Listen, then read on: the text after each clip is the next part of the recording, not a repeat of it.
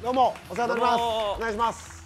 お願いします。お願いします。失礼します。どうも見取り図です。お願いします。はい、よろしくお願いします。見取り図の森山慎太郎さん、そしてリリーさんです。よろしくお願いします。ちょっとだけちなんだ。本当にちょっとだけちなんだ格好で入ってきていただきましたけど、はい、い。やーこんなに似合うタレントはうちの相方しかいないですね。ちなみにこれはキングシャーク。はい。作中に出てくるキングシャークの七上。七上通称七上の、はい。えーきなんていうんですか？かぶり物をつけてですから、はい。はい。最高やな。はい。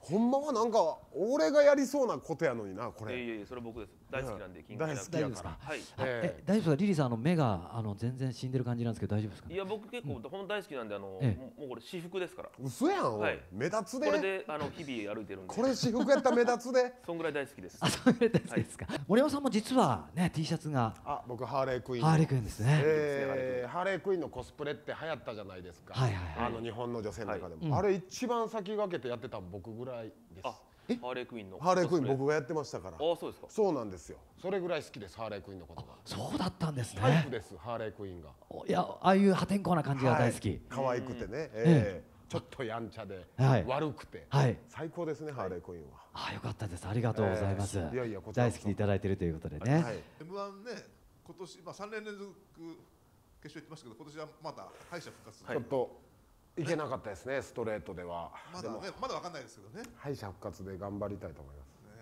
キングシャークのように。全くかかってないですが。何にもかけてないですは自信あります？どう自信のほどは？いいやーもう行くしかないですね。本当に。敗者復活で。去年が3位、去年3位でした。その前5位から。9位5位3位と来てて。上がってんですよね。はい。M1 の意気込みをお二人から。いや頑張ります頑張るしかないですよね。いや本当にサンドイッチマンさん以来のね敗者復活から優勝したいです本当に。したいです、はい。吉本興業もいつもより少なかったか、なので頑張りたいですね、はい